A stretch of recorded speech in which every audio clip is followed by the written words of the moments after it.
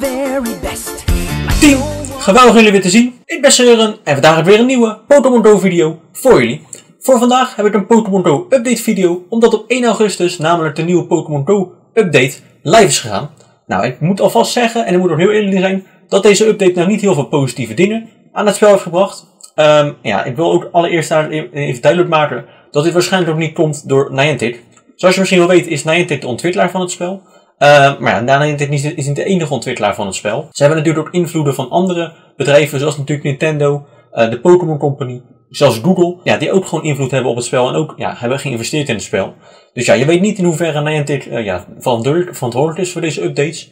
dus ja, daar wil ik even voorop stellen. Nou, ook wil ik natuurlijk even zeggen dat Niantic ja, gewoon ongelooflijk veel problemen heeft gehad de laatste paar weken. Het spel is natuurlijk ongelooflijk vaak gedownload. Het heeft heel veel records gebroken.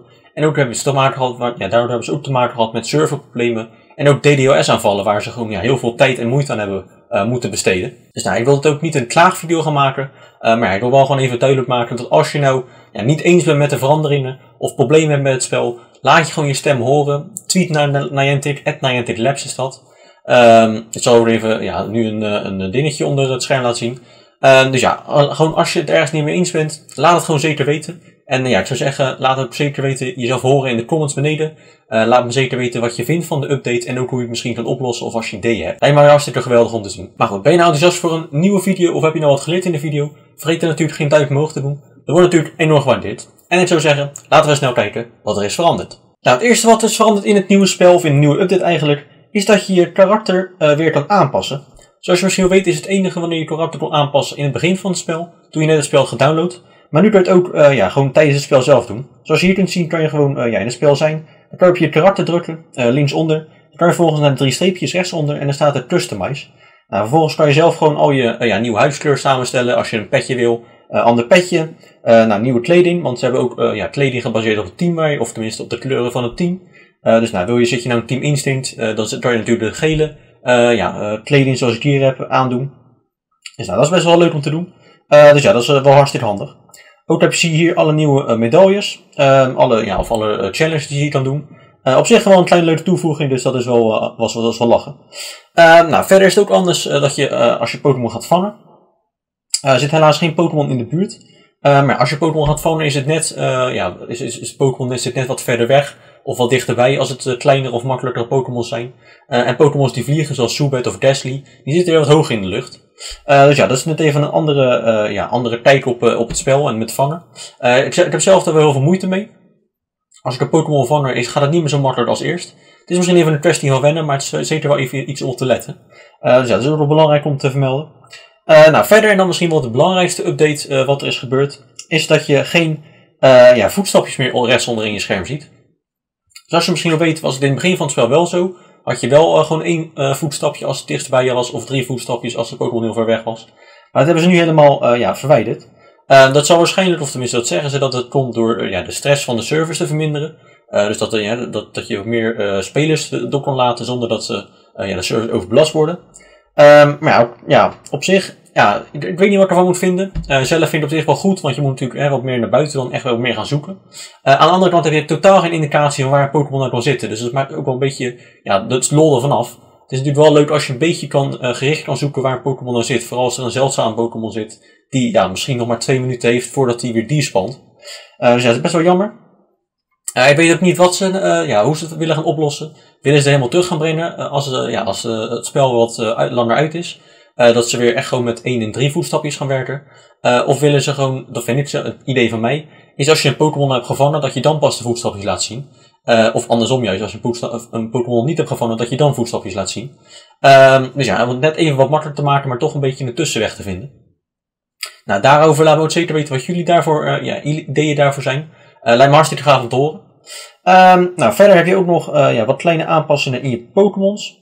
Uh, je ziet dat uh, ja, de tekst wat is veranderd. Even kijken. Ja, daar is hij. Uh, moet even kijken. Zit even op CP. de ja, tekst is veranderd, dus dat is wel een kleine leuke aanpassing. Maar ook nog wel belangrijk is dat je ja, je Pokémon niet meer kan transferen zo via ja, het hoofdscherm, zeg maar, waar je Pokémon te zien krijgt. eerst moest je helemaal naar beneden scrollen. Dat gaat nu niet meer. Je ziet nu ook rechtsonder hier zo een ja, optiescherm. En daar kan je Pokémon favoriet maken of transferen. oftewel wegdoen. Nou, als je Pokémon, dus nou, dat is, dat is al nieuw, dus je hoeft niet meer naar beneden te scrollen. Maar als je Pokémon favoriet maakt, dus dat ga ik niet doen, zie je rechtsboven, Pokémon is nu favoriet, dan kan je hem ook niet meer transferen. Cannot transfer a favorite Pokémon. Dat is ook wel mooi. Uh, als jij nou uh, ja, een goede Pokémon hebt die je sowieso wil houden, uh, is er niet de kans dat je hem per ongeluk ja, wegdoet. Dat is wel een goede functie, moet zeggen. Dus daar ben je er ook wel erg blij mee. Nou, dan verder nog een klein iets wat ook wel ja, best wel een grote invloed heeft. Is als je naar je ja, Pokémon balletje gaat en je gaat naar settings rechtsboven. Dan heb je niet meer de battery saver. Ik heb het nog wel gek genoeg, maar er zijn heel veel mensen die het niet meer hebben. je ziet het namelijk hier zo staan. Battery saver en vibration en sound effects enzovoort.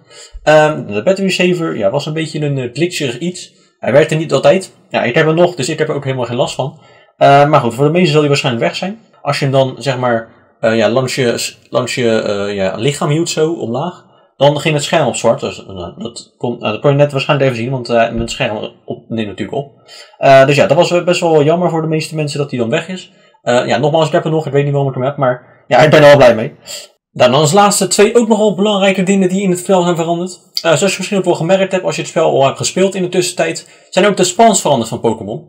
Dit vind ik op zich best wel positief, want dat betekent dat er ook een keer andere Pokémon spawnen in je buurt en niet meer alleen maar dezelfde. Dus dat vind ik wel goed. Ja, hopelijk gaan ze dat ook vaak doen, dus dat je bijvoorbeeld na een maand of elke twee weken, noemen wat, dat er dan steeds nieuwe Pokémon spawnen. de kans dat je dan je Pokémon attach ja, complete is dan ook veel groter. En hoef je steeds minder uh, ja, ver te reizen bijvoorbeeld. Um, en kan je een beetje in je buurt blijven, dat natuurlijk ook wel leuk is. Dus ja, dat, dat kan je misschien wel hebben gemerkt. Ook bij Nest is dat zo. Als je Nest is als, ja, waar een, een zeldzamere Pokémon op één plek heel vaak spant. Ook die zijn veranderd. Dus als bijvoorbeeld eerst een Magmar was, is het nu bijvoorbeeld een Electabuzz. Dus ja, dat is ook zeker iets om naar uit te kijken. Nou, verder ook nog wel belangrijk iets is dat de moves, oftewel de aanvallen van Pokémon, zijn verminderd, minder sterk gemaakt. Uh, vooral Vaporeon en Snorlax, oftewel de beste Pokémons van het spel voor de update, zijn erg ja, verminderd. Ze zijn minder sterk geworden. En ook tegenovergestelde, uh, ja, wat ja, zwakkere moves die eerst niet zo goed waren, zijn nu sterker gemaakt. Dus om het spel wat meer te balanceren. Um, nou, ik weet niet precies wat daar allemaal ja, veranderd, in, veranderd is. Maar ja, eigenlijk is het gewoon zo dat alle Pokémons wat meer gelijk zijn gemaakt. En dat de sterkere Pokémons, bijvoorbeeld Dragonite of Pokémons die moeilijker te krijgen zijn, net wat meer ja, krachtiger zijn dan Pokémons die wat makkelijker te krijgen zijn. Zoals bijvoorbeeld die Vaporeon.